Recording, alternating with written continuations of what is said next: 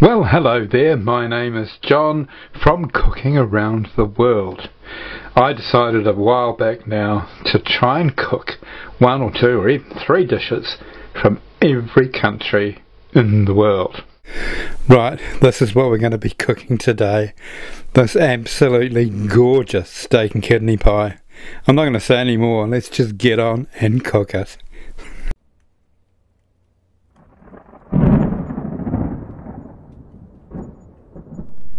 Well, today's country is the United Kingdom. And we're going to do a really traditional meal today. We're going to make a steak and kidney pie. The good th the thing about kidney is with a bit of pepper, it really comes alive. So that's what we'll be aiming for in today's recipe. I'm going to chop up this um, steak and the onion and we'll get underway. Right, that's our steak all chopped up um, now we're going to wait for this pan to heat up. We've got a little bit of um, butter in there and a little bit of rice bran oil. And as soon as that comes up to heat, we'll pop our steak in. Meanwhile, I'll chop the onion. Right, from the sounds that the pan is making, it's definitely time for our steak. Well, that's looking just great now. So, in with our kidney. And in with our onions.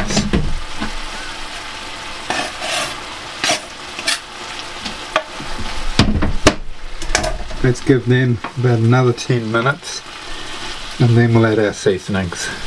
Right, now it's time to crumble two stock cubes, beef stock cubes into the frying pan here.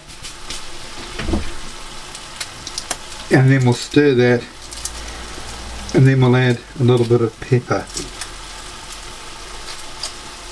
It's a good idea to make sure that you have cooked your um, kidney and steak properly before you go diving in there and tasting.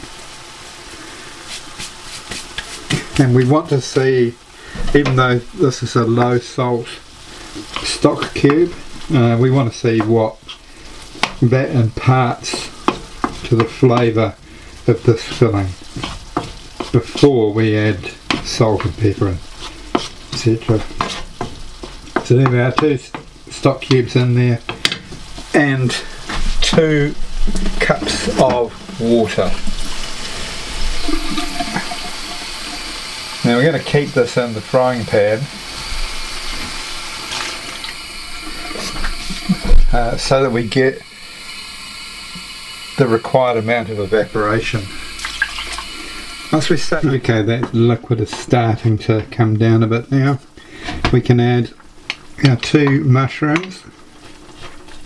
Now mushrooms are really important for meat pies basically we're trying to get the meat as tender as possible. But we still want to have a kind of chewiness to the filling. And that's where the mushrooms come in. So that's why that's why so many meat pies have mushrooms in them. So that we can maintain that texture but still have that beautiful beautiful tenderness of the meat.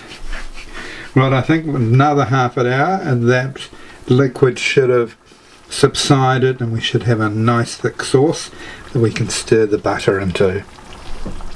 Now, we've got to the point where the liquid content is ideal, but it's not quite thick enough. So, we're going to take a tablespoon of corn flour and two tablespoons of water, mix them together in a ramekin. And we're going to pour this in to thicken up. Our mixture here. So we have the right thickness of the gravy. That's beautiful now one more touch to this gravy. We're going to put a wee knob of butter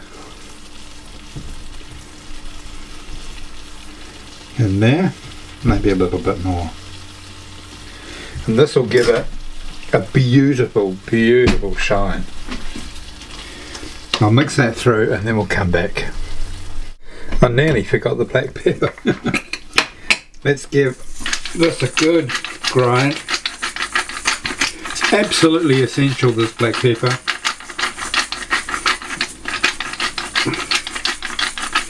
And don't be shy with it either. It's what makes the flavours all sing, especially the kidney. That's, oh gosh, that looks so, so beautiful. Let's have a little bit of a taste before we leave, take it off the heat.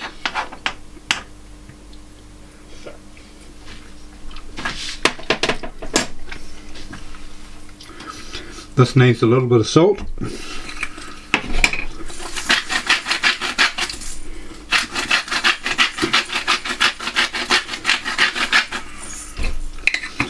Pepper is right on the money though.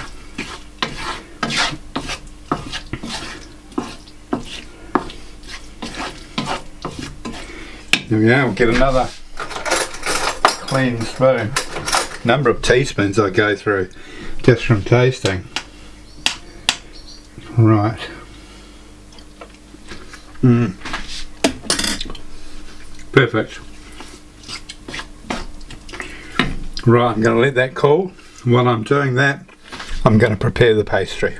Now, for those of you who've seen me do this before, um, it might be a bit boring. But for those of you who are new, well, you're in for what some would describe as a treat. So, about a centimetre more circumference than the pie dish itself. That's for the bottom of your pie. Alright? And we're going to, or I'm going to, just pop a bit of flour on the bottom of it as well. And I'll show you how to get it right into the pie. So just press it down just work your way around so that it goes into the pie dish evenly and then hold it with your knuckle and stretch it over. And this is to give the lid something to bind to. Right there we are. And then on to the next one and the next one etc I'll come back when it's time to fill these right we're now ready to fill our pies now don't try and overfill them because if you do you'll have things squirting out the side and you won't be very happy Oh, look at that. Look how shiny that gravy is. That's beautiful. Let's get our lid on. And just press it with your thumbs. Then get your knife. Go around the outside. Like this.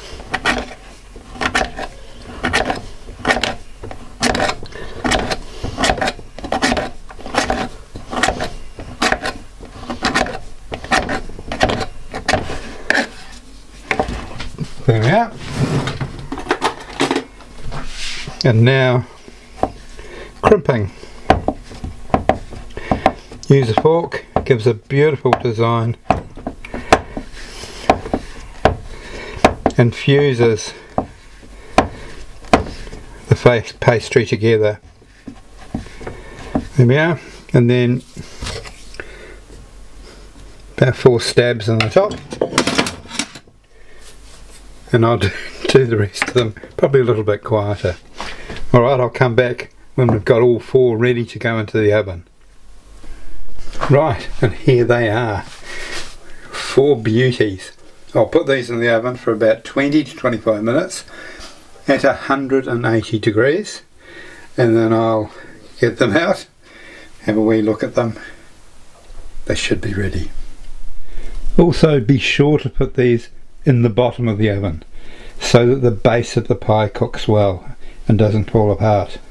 Okay, fresh out of the oven, that's exactly 30 minutes and we're going to dive in while it's still hot.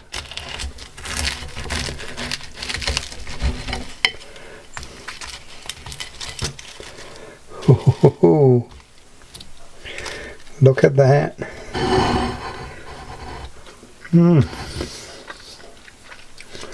Oh, so gorgeous. Wow. Mmm. Let's have a little, a little bit closer look at this, shall we? Probably have another wee taste, shall we? This bit of meat and mushroom and kidney that's falling out the front. Mmm.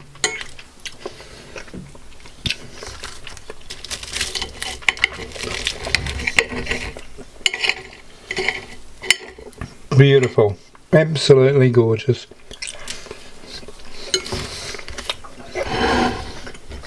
There you go. Thank you. Hang on, I'll just finish. Right. Thank you so much for watching this. This has been very rewarding. Um, there's a lot of recipes out of the UK. I've cooked toad in the hole Lancashire hot pot. The list goes on. But this is just, this is uh, a level above steak and kidney pie. Give it a go and I will catch you on my next recipe.